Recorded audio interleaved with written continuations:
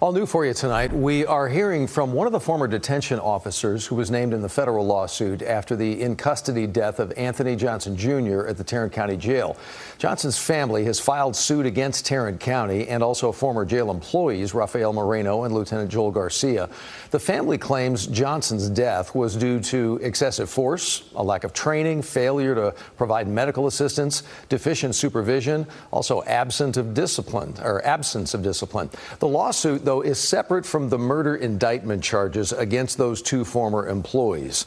As such, tonight, Joel Garcia's attorney did speak out, telling us, quote, Joel remains heartbroken about the tragic accidental death of Mr. Johnson, adding, quote, the allegations contained in the lawsuit filed by Mr. Johnson's parents are inconsistent with the allegations in the criminal indictment accusing Joel of intentional and knowing murder. And the Johnsons say, for the record, that they want a civil trial with a jury, but first, before any of that could even possibly happen, a federal judge will be the one to decide if this lawsuit can move forward.